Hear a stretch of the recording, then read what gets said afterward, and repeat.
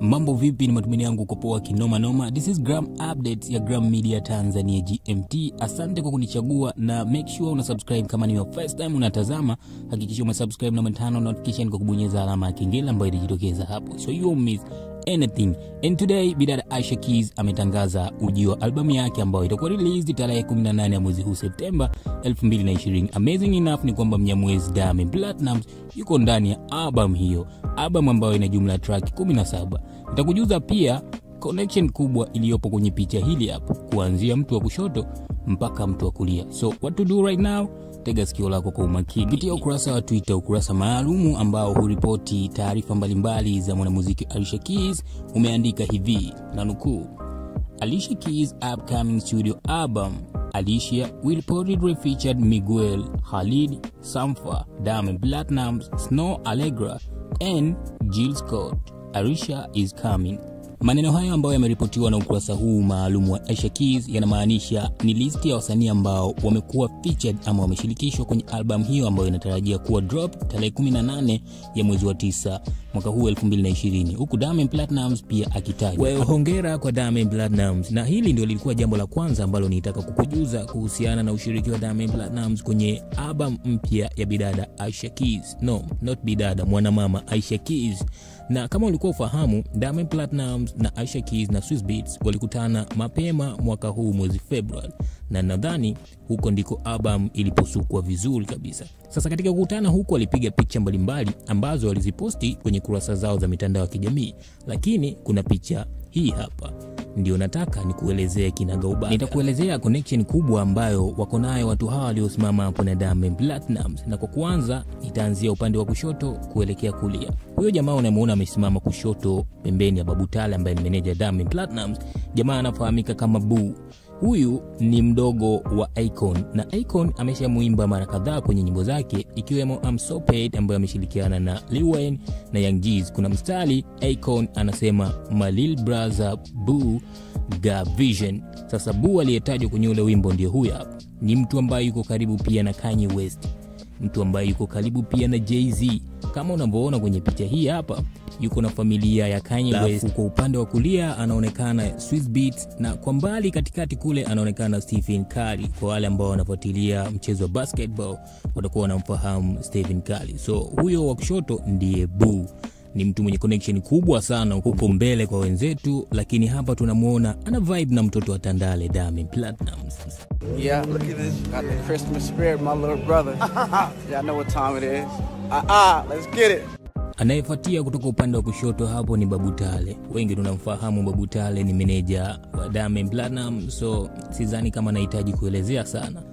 Anayefuatia baada ya Babu Tale ni Swissbeat. Swissbeat ndiye mume wa mwanadada Alicia Keys kama unavyowaona hapa kwenye picha, mume wake kabisa.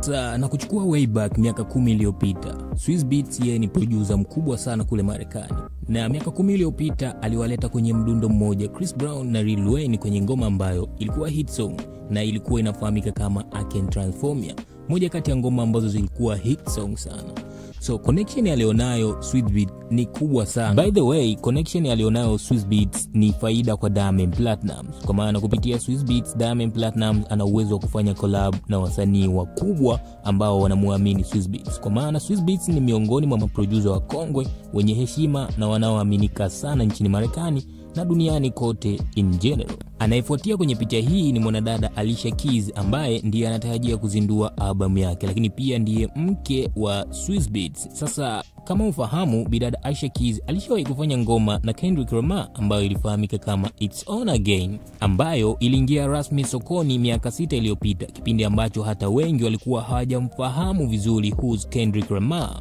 Bidada Aisha Keys alishawahi pia kutamba na ngoma nyingi kama Girl on Fire, lakini pia ngoma maarufu ya Jay-Z ambaye alimshirikisha kiitikio inafahamika kama New York. So I hope umepata kufahamu connection kubwa alionayo mwanamama Aisha Keys, kuanzia kuwa na mume ambaye ni producer, anajuana na watu wengi, na yeye pia kufanya ngoma na watu maarufu duniani ambao huenda wewe pia ni shabiki yao. swala la kazi za Diamond Platnumz na WCB kukubalika na watu maarufu wa nje nchi halijaanza leo. Nikikurudisha nyuma mwaka 2019 siku ambayo Diamond Platinum na Rayvanny waliachia ngoma yao ya Tetema, masaa machache tu tangia ngoma hiyo iachiwe, mtu wa kwanza kuikubali ngoma hiyo alikuwa ni rapa Kevin Gates ambaye ni miongoni mwa marapa watukutu na maarufu huko nchini Marekani. Aliposti video kwenye ukurasa wake wa Instagram akivibe na ngoma la Tetema mwaka 2019. So kismati cha Diamond Platnumz kuweza kukubalika na watu wa nje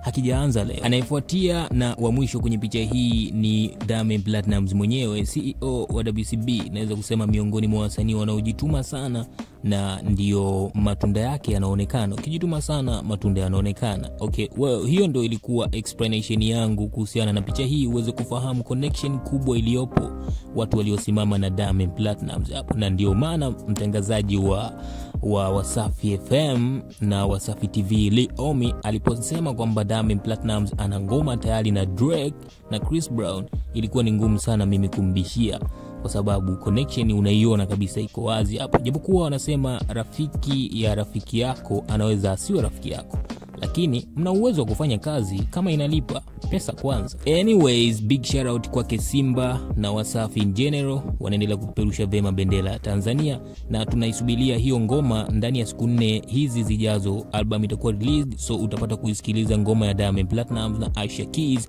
na tutaweza kuona kama ni moto fire ama ni utoporo.